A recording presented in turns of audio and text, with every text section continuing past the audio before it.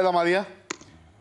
Καλημέρα σας λοιπόν και από μένα. Πρώτα απ' όλα να ευχηθούμε ε, και ως εκπομπή χρόνια πολλά στον Οικουμενικό Πατριάρχη Βαρθολομαίο γιατί σήμερα είναι η ονομαστήρια γιορτή, ε, γιορτή του. Συμπληρώνει 30 χρόνια στον Οικουμενικό Θρόνο να πούμε και χθες έγινε μία μικρή εκδήλωση ε, προς τιμήν του μετά τον Εσπερινό όπου πλήθος κόσμου, όλη εδώ η ελληνική κοινότητα, τα σχολεία κλπ.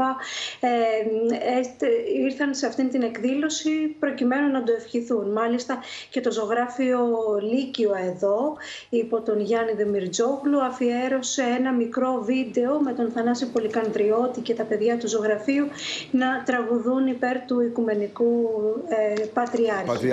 Απλά αυτό γιατί ε, σήμερα είναι, είναι η γιορτή του και συμπληρώνει 30 χρόνια στον Οικουμενικό Θρόνο.